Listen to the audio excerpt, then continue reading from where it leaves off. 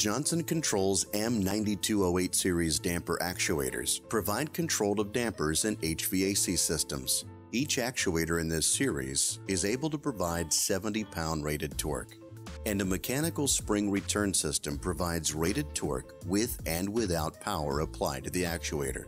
The actuators are configured for direct mounting and do not require a damper linkage.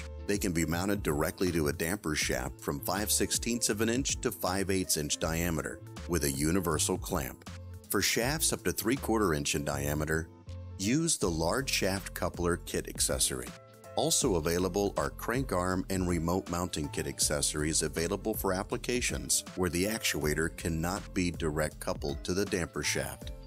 Optional line voltage auxiliary switches are available to indicate an end stop position or perform switching functions within the selected rotation range.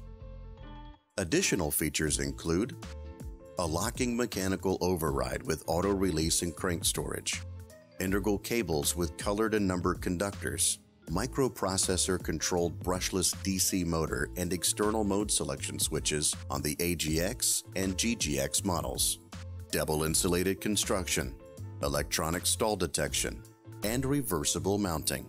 You can view our full selection of Johnson Controls products and more at Galco.com.